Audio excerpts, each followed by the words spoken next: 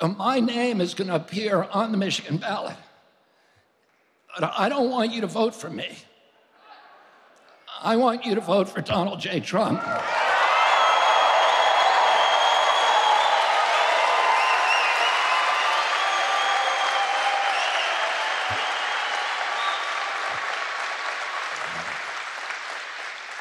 Because that's the only way that I'm going to get to Washington, D.C. and do all the things to help end the war, to end the chronic disease epidemic, to end the censorship, to end the surveillance, and all the other things that I entered this race to do. Thank you all very much, and God bless you, and get to the vote, the poll on November 5th here in Michigan.